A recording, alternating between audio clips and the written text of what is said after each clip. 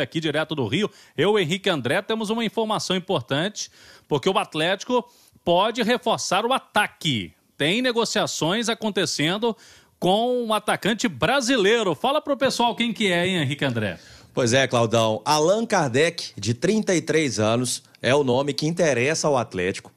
Mas a gente apurou que é, existem diferenças né, do que o Atlético deseja pagar pelo Allan Kardec e o que o staff do Allan Kardec deseja que ele receba no Galo. Então, por enquanto, há essa divergência, mas sim, é um nome que está na pauta do Atlético e que pode chegar aí, né, Cláudio, nesta janela de julho, a partir de 18 de julho, ser registrado como reforço do Atlético. O Allan Kardec, que estava no futebol chinês, está sem clube.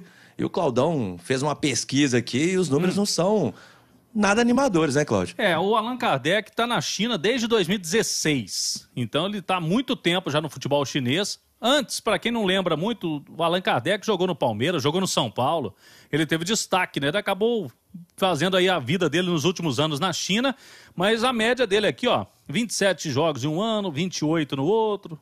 Ano de 2020, 15 jogos. O número de gols é alto, né? É, ele faz gols, né? Faz, fez 16 numa temporada, 14 em outra, 12 na última temporada, mas só em 19 jogos.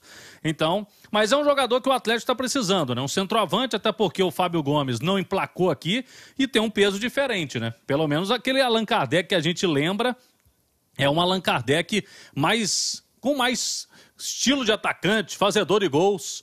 Não sei, eu vou rolar a bola para o Alexandre Simões se chegar num acordo, Simões, de salário, não pagar algo muito fora da realidade, como está livre no mercado, você apostaria no Allan Kardec para vir para o Galo?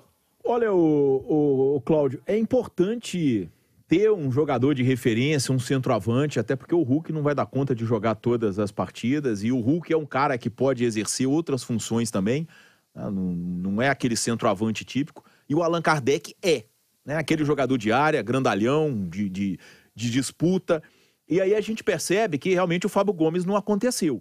Né?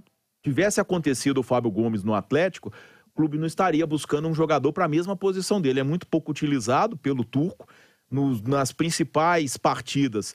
Quando ele não tem o Hulk, é o Sacha quem joga, ou até o Vargas, mas muito mais o Sacha que faz um grande 2022. Seria sim um jogador importante. Né? É uma reposição para o Diego Costa, cara que foi importante no ano passado nos títulos nacionais do Atlético. Claro, não é o Diego Costa, mas é um jogador de um bom nível, tem uma carreira de sucesso e pode sim agregar ao grupo do Atlético. A questão é realmente financeira, como o Atlético trouxe, a, como o Henrique André trouxe, né? A gente percebe que o Atlético vive um 2022 diferente do de 2021.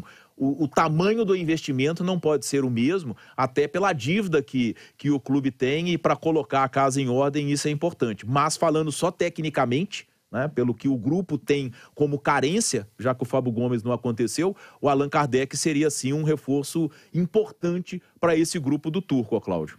Tá certo.